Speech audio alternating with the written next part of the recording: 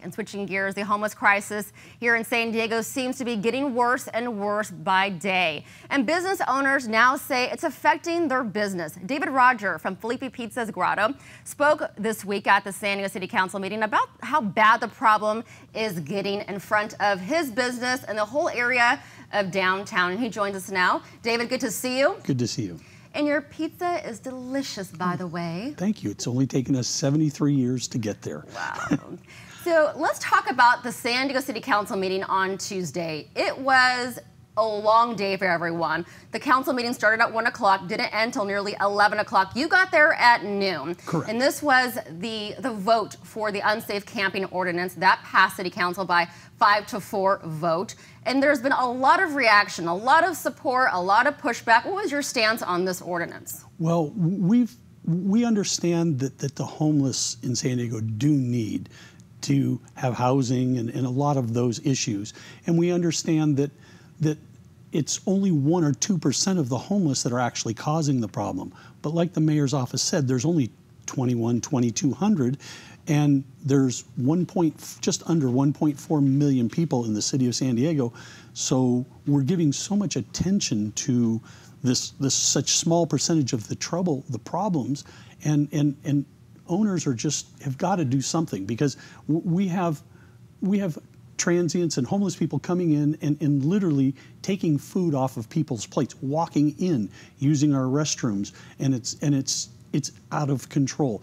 Um, our business has the big red chair that everyone knows about to go have your picture taken, and I mean, there's people sleeping in it and and defecating, and, and it just you know, Little Italy is is is a beautiful place, and and it's a good place to go to, and and they just it, it's so bad that people feel afraid, and it's going to affect uh, tourism. It's going to affect a lot of things. And you know, maybe if the city figured out that they lost three or four billion dollars in tourism because of homeless, they needed to do something. So you know, talk, Todd stepped up and, and, and started talking about it, and Steve actually, you know, came up with something. And well, we've heard from the council members. We hear from so many who are supporting the ordinance and who are against it. But it's great to hear from residents and business owners who actually have to live it and see it on a daily basis. You live in the downtown San Diego area, right next to the House of Blues, and you see it firsthand how bad it's getting. Also, for Filippi's in Little Italy, from what I have observed as a news reporter going out and working in, in the community, is that the homeless has been moving to Little Italy area, something that you really haven't seen in the last 10 years, but over the last couple of years, you're seeing it more. Right, and, and, and that's caused by the intensification is there's so many of them. You go down by like um, the trolley center, I mean, it, it's incredible how many people are there, and and they they, they exit and they start looking for other places to go because there's so many of them, and and it's just. Um, it, it's time the city really had to do something, and and and like they said, it may this may not be the fix all, but at least it's doing something. And you know, the police department needs to step up and give more officers to do this this plan didn't offer any of that. It's just existing police officers, and they're already strained. And, and there was already, before this even passed, they were talking about, well, we're going to have to work this in waves. We'll go do this part here, this part there. So. Well, according to City Council, this ordinance will not go into effect 30 days after the first slave sleeping site will open.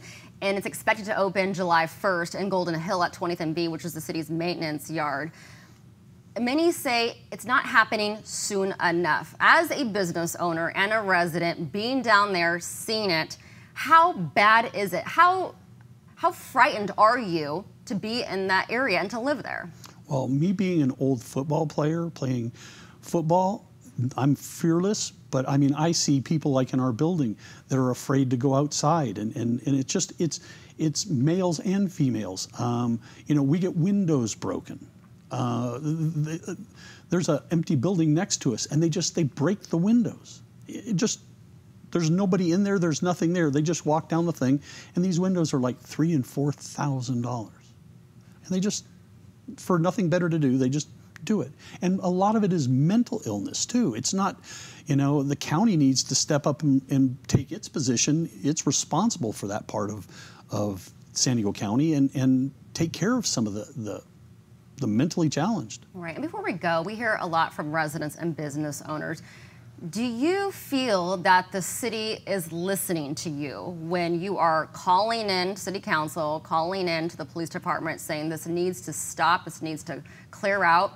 The transients and the unhoused that are camping in the area are damaging my property, scaring my customers away. Do you feel that the city is listening to you? Well, it, it's kind of it's deaf ears they're, they're trying to do something. Mr. Whitburn is trying, they're, they're trying to take a step. Okay, now we can only measure that by after they start doing something, if it actually does affect. And, and basically, Todd Gloria has made, he's, he's laid his whole um, election out. If this doesn't work, he's history. Well, David Roger, thanks so much for your time joining us on Good Evening San Diego. I know it was a long day for you on Tuesday at the City Council meeting. Yes. You got there at 12 o'clock when that meeting started at 1. Yes. So we appreciate your time, and I definitely need to go into Filippi soon and get a slice of pizza. Come on down. Oh, thank you. Good to see you. nice thank you. You. Logan?